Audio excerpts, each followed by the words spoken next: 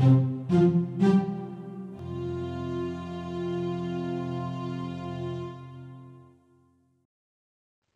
this is Dave Horan, a product line applications engineer for Viavi Test Solutions.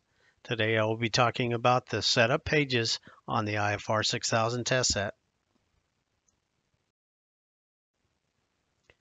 When setting up the IFR 6000 for testing, the operator presses the Setup button while operating in any instrument. This will take you to the Setup menu for the instrument you are using. I will be describing the setup items common to all of the setup pages first, and then I will address the items unique to the individual instruments.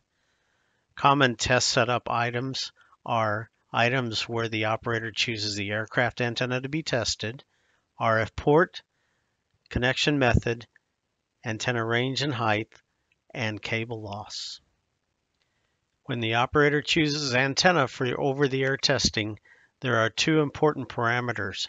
First is distance from the IFR 6000 antenna to the aircraft antenna, and second, the height difference between the IFR 6000 antenna and the aircraft antenna.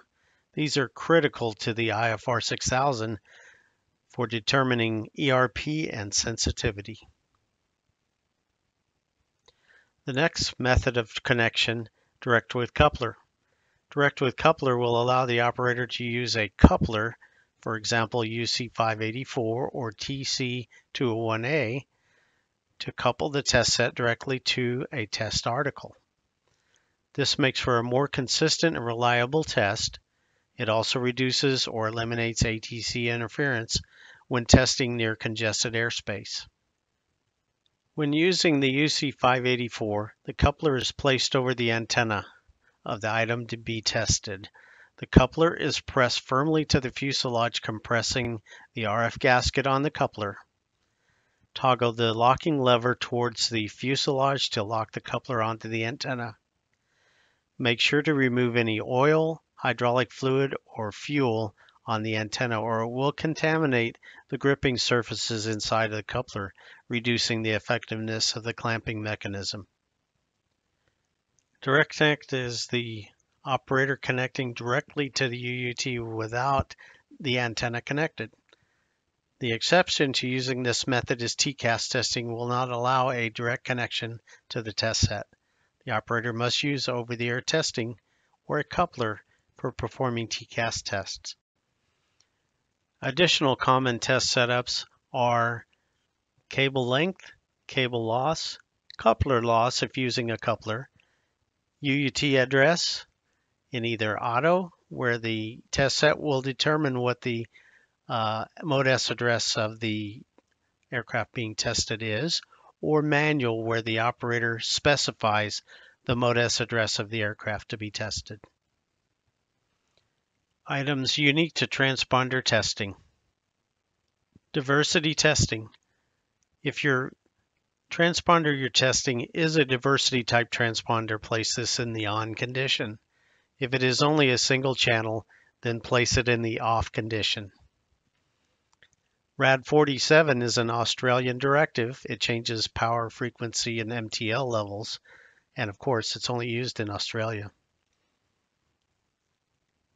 Power limits can be selected for FAR 43 or your 91413 parameters or it can be modified 43, which removes the upper ERP and lower MTL limits. Check capability, place this in the yes condition so that it only tests the parameters that the transponder are capable of. Two additional soft keys are diagnostics, which will allow the 6000 to be used for diagnosing problems inside of your transponder,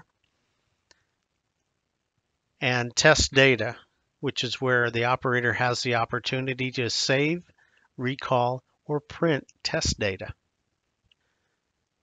ADSB additional setup. These are being used in the ADSB monitor test and the AC20-165 testing.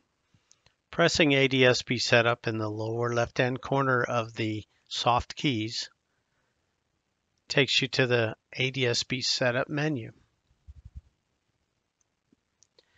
ADSB setup consists of position decode, which can be either global, where the IFR 6000 uses two consecutive odd and even squitters to determine longitude and latitude of the device being tested, or local, where it actually uses only one squitter and compares that to the parameters input by the operator for longitude and latitude into the test set.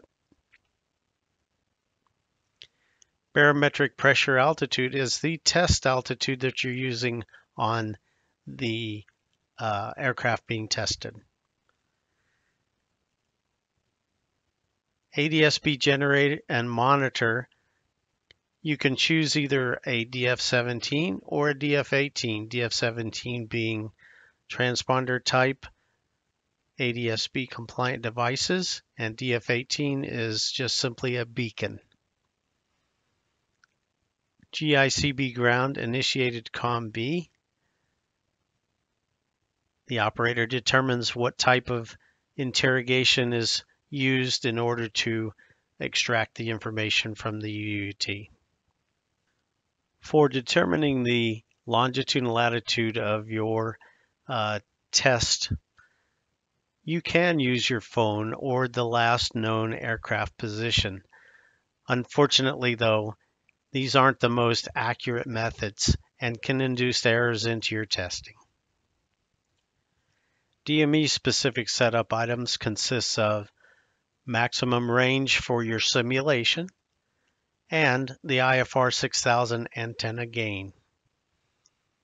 Unique setup parameters for DME setup are maximum range, which can be 10 to 450 nautical miles. This will set the test set's maximum range that it can simulate. Also, all of the parameters that are on the placard for the flat plate antenna must be input for antenna gain. Selecting the TCAS instrument and then pressing the Setup button will take you to the TCAS setup page. The setup page for the TCAS instrument will allow the operator to turn squitters for the simulated target on or off, altitude reporting on or off, and also will allow the operator to select displayed, displayed altitude as either relative or absolute. Lastly, the test set announced address is input by the operator. Make sure that you don't use the same address as the Mode S address of the TCAS that you're testing. Thank you for watching this video and if you have any questions, please contact me at the email address listed below technical support.